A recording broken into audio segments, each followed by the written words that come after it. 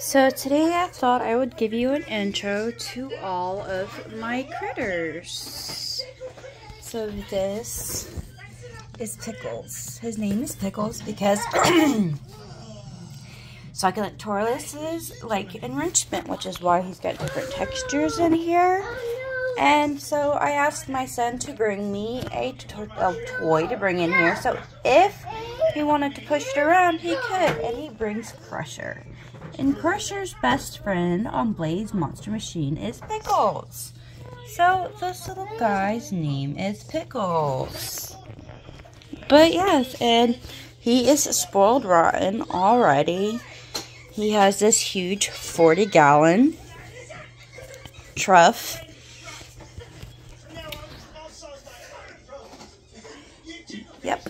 And I even went and bought a collard green plant. And he gets fresh collards. It's got a little water dish. Need to get him a bigger one, but that's fine. Got him some little pebbles for different texture and different things to crawl on. And then we have him some succulent. I don't know exactly the name of it, but it's for. It is for his specific tortoise species. Well, and a few others as well, but yeah, so like he's already rotten and I love it. Like my husband even rigged that up for me so he can stay warm. And yes, this, I made this. Isn't it cute?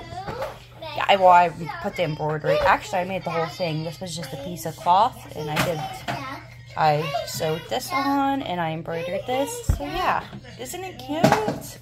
Anyways, this is where he likes to go and cuddle up at night because apparently he's bougie and I'm all for it. Okay, so enough about pickles. Let's move on. Next is my curly hair tarantula male, Lulo. And you are just not going to see him because he is in pre-molt again. His last molt, he was confirmed mature male. And, well, now he's just in here in his little hidey spot. This is our newest addition. Um, I will try to see if I can get the lid off, but like, look how. This is an Arizona Blondie. I cannot pronounce the scientific name because just that's not part of me. Anyways, so this is this little cutie. Super excited. His butt is getting dark and patchy, so I'm thinking this one's in pre-molt, but yes. And then I have a third tarantula, which this is the best of you I can give you. This is my pink salmon bird eater. So he's going to be massive, and I'm loving it. He was itty bitty when I got him, and he is no. He was my biggest. Well, my second biggest. I had other ones, but yeah. Anyways, so he's huge. You just can't tell because he's all scrunched up. And where is this little one at? I have a jumping spider in here. Okay, here he is. This is Chicken Wing. Chicken Wing is right here. Not sure gender, but it is a cute little bold jumping spider. And then we're going to move over to our other bold jumping spider, which you're not going to get a good view of because he's made his hammock. I also don't know the gender of this one. And this one is cheeseburger. Um, in his little bedroom. And we don't mess with them when they're in their rooms. And yeah. And then this beauty which you can't really see, is Cookie. She's my new addition out of the Jumping Spiders. She came with this guy, and I got them from Sunday Spiders. So you can go look them up. Or you can send them an email, sundayspiders at gmail.com if you're interested because their babies are amazing and definitely affordable. This is Cookie, not Cookie, I'm sorry, Coffee. Coffee. That's how I remember their names. I decided to Because, like, you know, the little food minis, I think they're cute. So I was like, instead of name tags, let's sit here and put this. And this is french fry. So these are ribs, but there's like little french fries in them. Yeah, so this is french fry. This is coffee. She is in her bedroom. And this is Cupcake. Cupcake is also in her room. And she is, looks like she is webbing it up. It's really funny because the day after I got him, he can't put him in here. He made, the first day, he made his bedroom right there. Sorry, my kid's in the background. And then he noticed the next day, he noticed coffee, which uh, I'm not moving anybody's bedroom for this. Sorry, guys. But anyways, so coffee, he noticed her and he started dancing. He is still too little. He needs like another two molts. Two or three molts.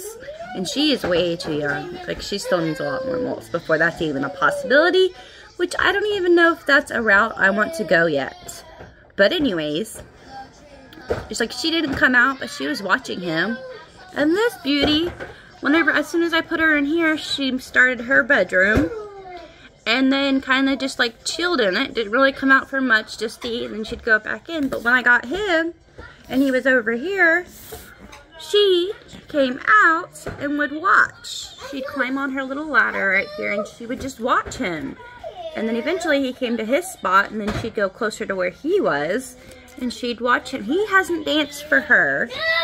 So, but yeah, I just thought that was really funny.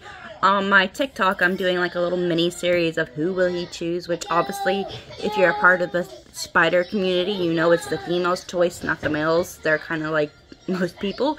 The man will get what they can take, and yeah. But anyways, back to these guys. So yes, these are my babies, and I am extremely ecstatic. And these are tarantula cribs. I got them, and I am obsessed. I love them so much.